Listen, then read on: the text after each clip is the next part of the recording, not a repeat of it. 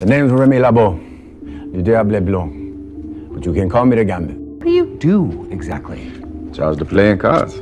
Make them go boom. Your power is close up magic. That's good. We're not totally fucked at all. Good day, uh, you know, we never had a Wolverine up in here.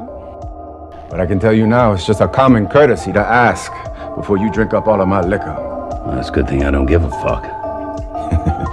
Couillons, wow.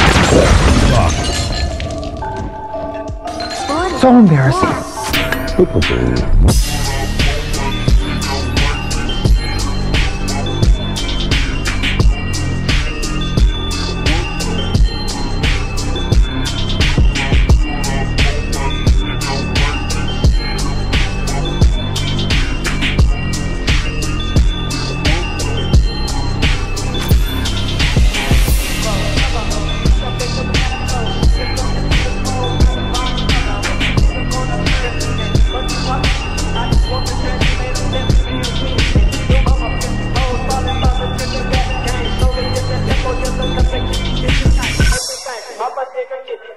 get it quick.